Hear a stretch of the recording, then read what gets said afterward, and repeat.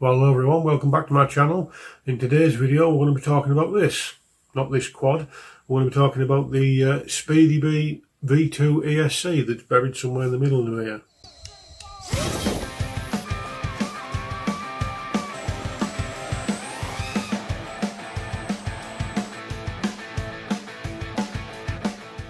Some of you may be aware this uh, ESC has been in the news for the last couple of months for uh, a number of issues, including blowing up in mid-flight and your quads falling out the sky, burning, randomly burning motors out and stuff like that.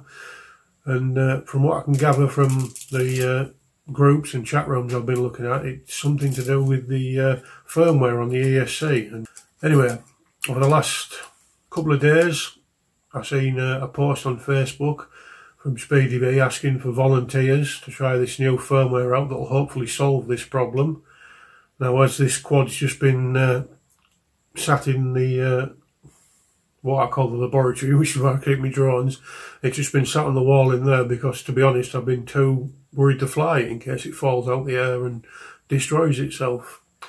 Anyway, now Speedy Bee's already sent me the firmware and I've already flashed it straight to this quad. I won't bore you with the process of doing that.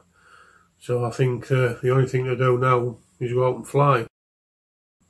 Now, obviously, the video footage that you're going to see now is going to be DVR because uh, I aren't putting any camera on here just in case it does happen to fall out the sky and damage it. So let's have a look at that D uh, DVR now and see how it went.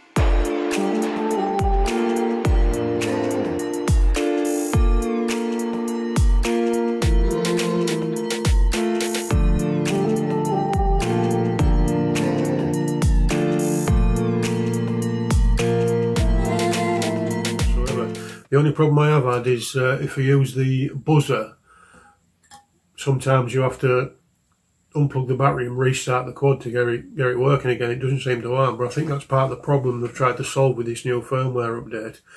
And the uh, other reason I think I haven't been affected by my ESC trying to blow itself up is I fly these on 4S. Obviously, if you're flying 4S, there's a lot less voltage going through the ESC as there would be if you're flying 6S. But I think uh, you know, we're still going to give this a bit of a hammering when we take it out for a fly just to see what happens.